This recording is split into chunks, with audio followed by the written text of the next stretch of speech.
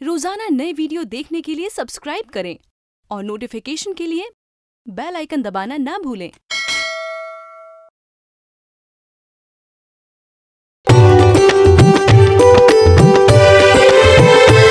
यहाँ रिश्तों के खिलते हैं कवल, हँसते गाते हैं सारे पल। यहाँ मिलजुल कर सभी जीते हैं। आँसू भी बांट के पीते हैं। यहाँ प्यार बरसता है चारों फिर भी दिल मांगे मोर।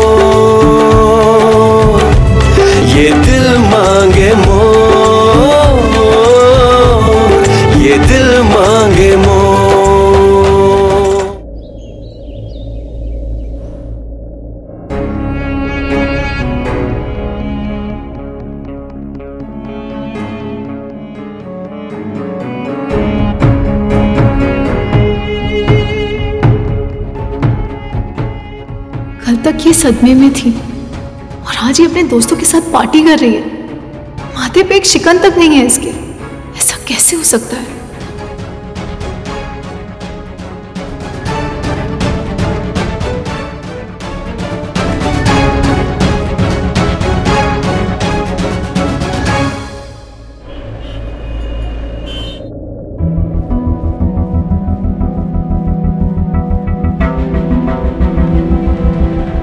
कौन है?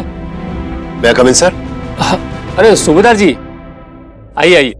थैंक यू सर कहिए कैसे आना हुआ? सर वो एक ज़रूरी बात करनी थी आपसे। हाँ हाँ बोलिए। सर वो कुछ पैसों की ज़रूरत थी। अरे तो बताइए ना कितने? ती, ए, एक मिनट।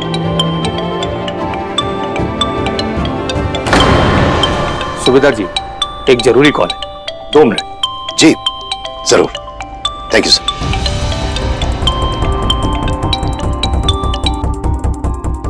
हाँ मैडम बोलिए। जी। जी madam. Cheers! To my victory. अब वो Yes. loser जय जेल में सड़ेगा क्रिमिनल्स के साथ। आंटी वैसे तूने समाज सेवा की है। वो बहुत अपनी बहन के पीछे पीछे गुडी गुडी भाई बन के घूमता फिरता था। अब कुछ दिन क्रिमिनल्स के साथ रहेगा ना तो उसकी पर्सनालिटी भी बनेगी और उसकी माचोनेस भी बाहर आ जाएगी उस बॉडी बिल्डर की। और जब बाहर आएगा तो अपनी बहन के पीछे दीदी दीदी करता छुपता फिरेगा। ये तो होना ही था उसके साथ। आफ्टर ऑल उसने आंटी की फीलिंग की वैल्यू ही नहीं की। हम सब जानते हैं आंटी को वो ऐसे लड़कों को कैसे सजा दिलवाती हैं। हाँ याद है मुझे। पहले बकरे का नाम था राज। और दूसरा वो इंग्लिश प्रोफेसर याद है? उसे कैसे भूल सकती हूँ? उसके तो सस्पेंशन का वीडियो बनाया था मैंने, ताकि मैं खुद को याद दिला सकूँ कि जो मेरी बात नहीं मानता, उसका मैं क्या हाल करती हूँ।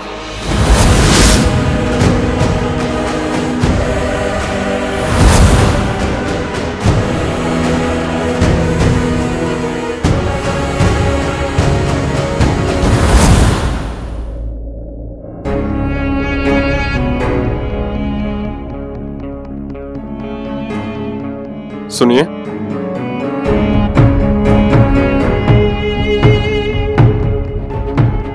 ये, ये क्या? है शहर के बाहर एक युवा सुधार केंद्र है। जेल से छूटते ही बस इन्हें कॉल कर देना। ये लोग खुद आएँगे और जय को ले जाएँगे। जब वापस आएगा तो इसका पूरा शुद्धिकरण हो चुका होगा। चिंता करने की कोई ज़रूरत नहीं है। गुप्त जगह है। किसी को कानो कान खबर नहीं होगी। धन्यवाद।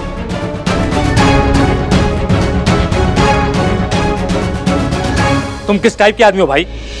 हैं? सिर्फ़ मैडम बिल्कुल बेच खाई क्या? सर क्या हो गया? ये तुम पूछ रहे हो?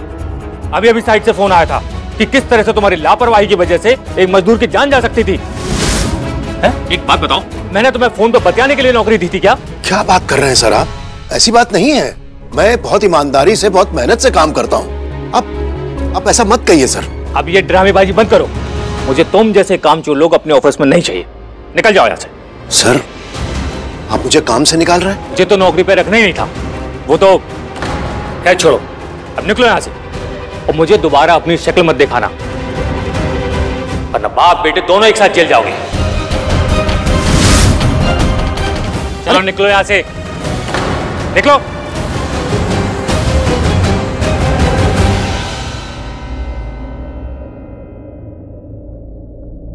हाँ मैडम। काम हो गया। मुझे रोनी जी मेरे को ना एक बात आपकी समझ में नहीं आई। इस सूबेदार को अगर नौकरी से निकलवाना ही था तो नौकरी पर रखवाया क्यों?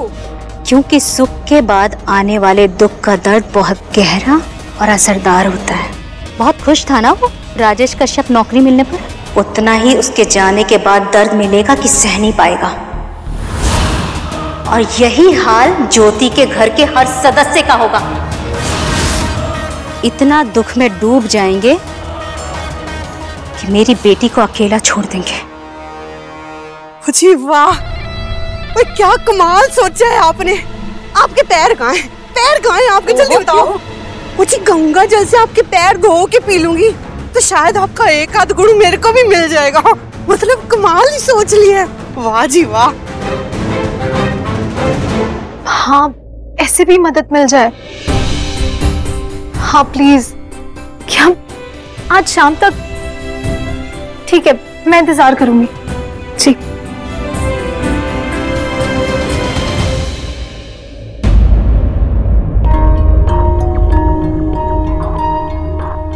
पापा? आप इस वक्त घर पे आज आप काम पे नहीं? नहीं जाना। अब से मैं काम पर नहीं जाऊँगा।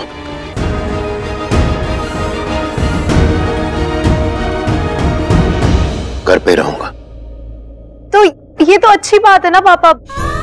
वैसे भी आप साइड पे इतनी धूप में काम करते आपकी हेल्थ के लिए रिस्की है पापा।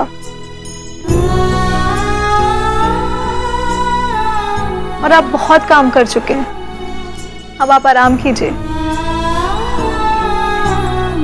ज्योति कड़वे सच पर कितनी शहद की परत चढ़ाएगी तू उसे मीठा करने के लिए? ये सच है कि कपिल के जाने के बाद हमारे परिवार पे इतनी बड़ी मुश्किल कभी नहीं आई। जय जेल में है। संध्या की इतनी बेइज्जती हुई। तेरे पापा को नौकरी से निकाल दिया गया। तू अकेले कब तक करेगी सब कुछ?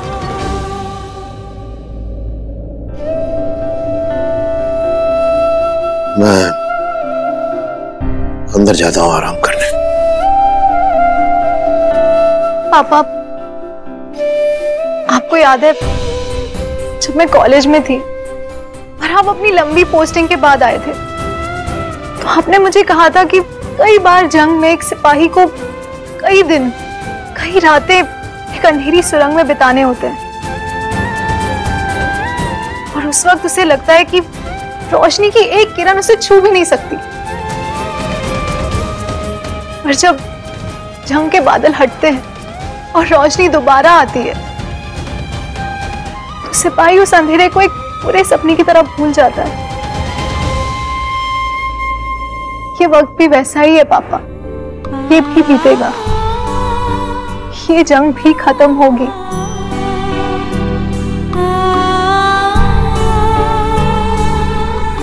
आपसे वादा करती। हूँ आप दोनों से वादा करती। हूँ हमारी ज़िंदगी में रोशनी दोबारा आएगी। बस हमें हिम्मत नहीं हारनी है। और उम्मीद तो बिल्कुल नहीं छोड़नी है।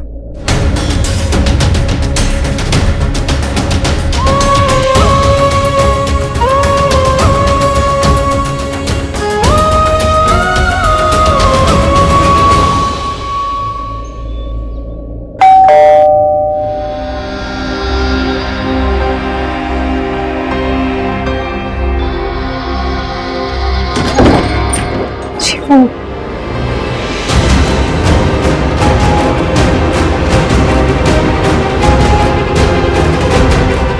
डॉक्टर ज्योति तुम यहाँ? मुझे बात करनी। है हाँ बोलो। आपसे नहीं। अंतरा से। कोई बात नहीं करोगी तुम मेरी बेटी के साथ में। भाई पहले ही तुम लोग उसको बहुत परेशान कर चुके हो। तुम्हें क्या लगता है कि ये भोली भाली है इसको अपनी बातों में बहला फुसला लोगे और एफआईआर वापस करवा लोगे? सवाल ही नहीं उठता। मुझे बस पाँच मिनट उससे बात करनी है। उसके बाद मैं एक मिनट भी यहाँ नहीं रुकूँगी। पाँच मिनट क्या एक मिनट भी नहीं? आर्यन बाहर कर दो इसको। आलू भैया मैं बात करूँगी इससे। हमारी फैमिली में हमेशा सिखाया गया है ना? कि हमें दूसरों की तकलीफ़ सुननी चाहिए। मुझे जानना है। आखिर इसे कहना क्या है? अगर आपको कोई प्रॉब्लम नहीं है तो। ठीक है। मॉम प्लीज़ सिर्फ़ पाँच मिनट की बात है। ठीक है। तो मैं भी जाऊँगी साथ में। क्योंकि मुझे इस लड़की पर जरा भी भरोसा नहीं है हाँ।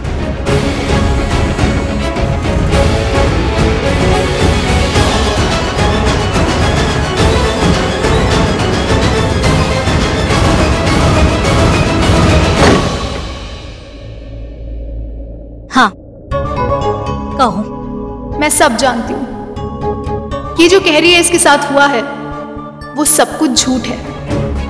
और सिर्फ़ यही नहीं, झूठ बोलना इसकी फितरत है। रिकॉर्ड रहा है इसका।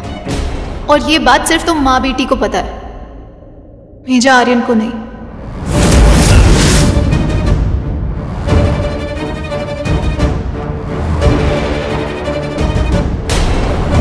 तुम्हें समझ भी आ रहा है तुम क्या कह रही हो? कि अपने भाई को किसी भी लेवल तक गिरने के लिए तैयार हो?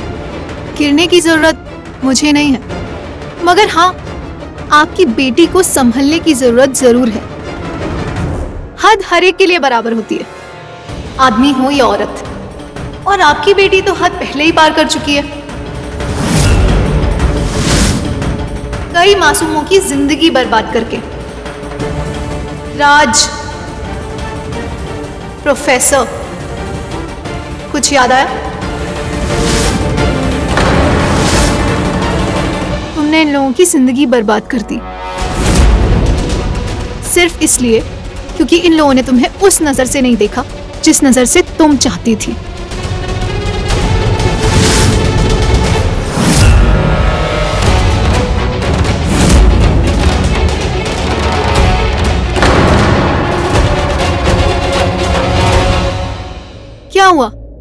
चौंक गई।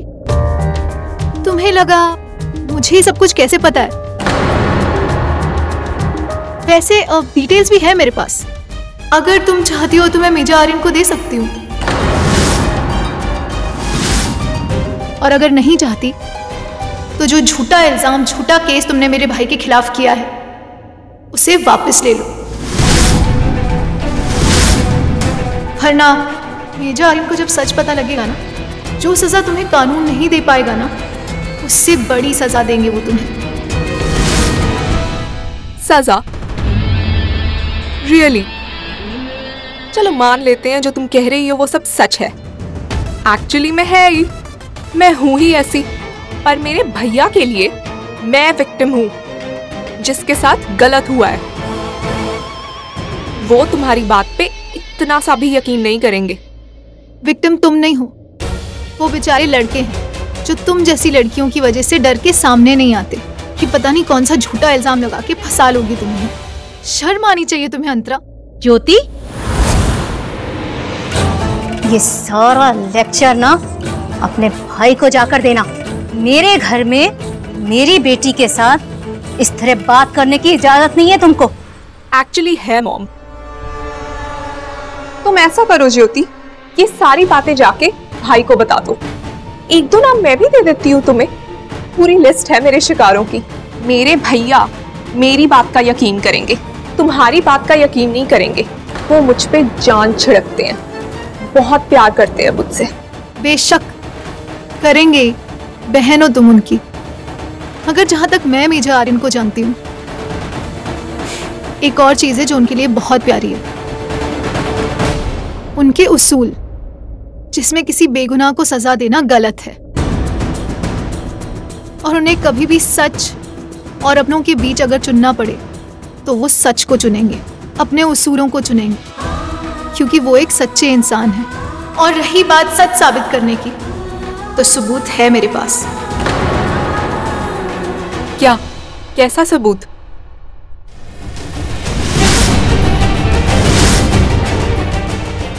लेते हैं जो तुम कह रही हो वो सब सच है। एक्चुअली मैं है ही। मैं हूँ ही ऐसी। पर मेरे भैया के लिए मैं विक्टिम हूँ। जिसके साथ गलत हुआ है। वो तुम्हारी बात का इतना सा भी यकीन नहीं करेंगे। एक तो नाम मैं भी दे देती हूँ तुम्हें। पूरी लिस्ट है मेरे शिकारों की। डॉक्टर ज्योति तुमने अंतरा से क्या बात की मुझे पूरी बात जाननी है। मेजर आर्यन मैं लेट हो रही हूँ मुझे जाना है।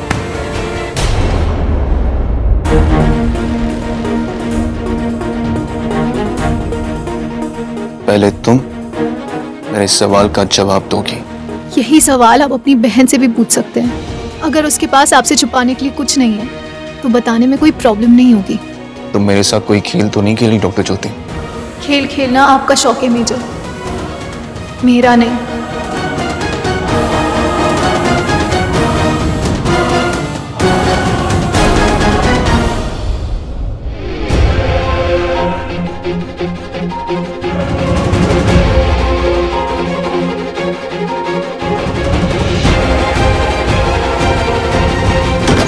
दारा ज्योतियाँ क्यों आई थी? भाई वो बेटा माफ़ी मांग रही थी। और क्या कहेगी? कह रही थी कि परिवार की बड़ी बदनामी हो रही है जय को माफ़ कर दो। जवान लड़का है। लड़कों से तो गलतियाँ हो ही जाती हैं। लड़के तो लड़के ही रहेंगे।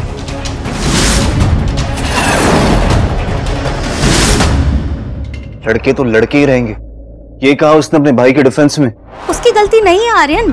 अपने भाई को बचाने के लिए उसको जो सही लगेगा इस समय वो वही कहेगी और करेगी। ऐसे हालात में अक्सर इंसान सही और गलत में फ़र्क भूल जाता है। उसे बस उसके अपनों को बचाना होता है। यही वो कर रही है। मॉम प्लीज़ आपका दिल बहुत बड़ा है लेकिन ये केस हम वापस नहीं ले रहे। उस जय को अपनी की की सजा मिलनी चाहिए। मैं भी यही चाहती हूँ बेटा। एनीवे anyway, मैं रेडी होके हेडक्वार्टर्स के लिए निकल रहा हूँ। आप लोगों को डिनर पे मिलता हूँ। ओके मॉम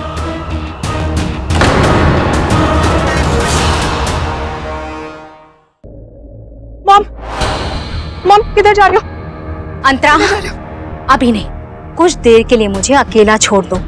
उससे क्या होगा मॉम? उससे प्रॉब्लम सॉल्व नहीं होगी। आपने जो आलू भैया को कहा था उसका बिल्कुल उल्टा किया है ज्योति ने। वो रिक्वेस्ट नहीं कर रही थी। अगर आज शाम पाँच बजे तक आप दोनों मेजर आर्यन को लेके पुलिस स्टेशन नहीं आए और जय के खिलाफ की हुई एफआईआर वापस नहीं ली तो ये रिकॉर्डिंग मैं उन्हें सुना दूँगी। उसके बाद जो होगा उसकी ज़िम्मेदारी मेरी नहीं होगी। और ये सब किसकी गलती है? तुम्हारी। तुम्हारी वजह से उस ज्योति की इतनी हिम्मत हुई कि मुझे, रोहिणी सिंह को मेरे ही घर में आकर धमका कर गई है। और तुमसे कितनी बार मैंने कहा है कि उस ज्योति को हल्के में मत लो। बहुत शातिर है वो। देख लिया? अब भुगतो। मॉम, आप तो जानते हो। कि मैं हुई ऐसी। कुछ सोचती नहीं बस कर देती हूँ। पर आप होते हो ना मेरे साथ हमेशा मुझे मुश्किल से बाहर निकालने के लिए। शायद इसलिए मैं लापरवाह भी हो गई थी। पर अब सारा ब्लेम मुझ पे मत डालो प्लीज़। आप अपनी ऐसे ज़िम्मेदारी से बाहर नहीं जा सकते। मैं आपकी बेटी हूँ। आपको मेरा साथ देना होगा। हर बार यही करती हो। रुको। मैं सोचती हूँ कि आगे करना क्या है। ओके मॉम जल्दी। हम उस ज्योति को हमसे जीतने नहीं दे सकते। अच्छा तू जा। मैं कुछ सोचती हूँ।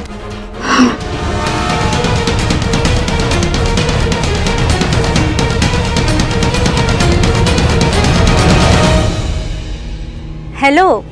हाँ किरण जी। कैसी हैं आप? अरे, मुश्किल समय में एक दोस्त को ही तो याद करूँगी। और आपसे अच्छा दोस्त कौन है भला? छोटा सा काम था। मिल सकते हैं? जी, बहुत अच्छा।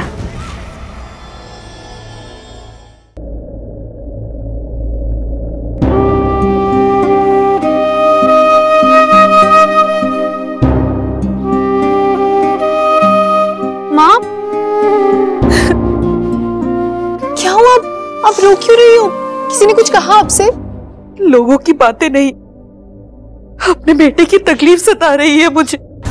आज इतने प्यार से जय के लिए उसका मनपसंद खाना बना के मैं पुलिस स्टेशन लेकर गई थी। पर उन्होंने उसे देने ही नहीं दिया। और मैं जानती हूँ उसे। वो भूखा रह जाएगा, पर वहाँ के खाने को हाथ तक नहीं लगाएगा। भूखे में कैसी नींद आएगी? माँ परेशान मत हो। प्लीज़, मैंने बात की है। चाहे आज ही जेल से रिहा हो जाएगा। फिर आप अपने हाथों से उसे खाना खिलाना। काश तेरी बात सच हो जाए ज्योति। क्योंकि जय जो वहाँ जेल में एक एक पल काट रहा है मैं यहाँ अंदर से कट रही मैं जानती हूँ माँ पर हमें हिम्मत से काम लेना होगा ना?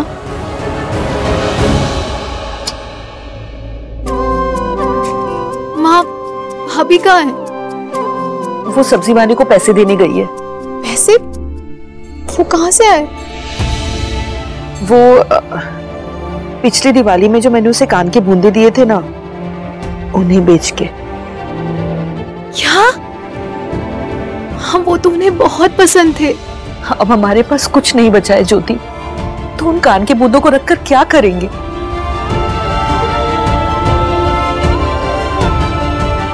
क्या हम कभी इससे बाहर निकल पाएँगे ज्योति?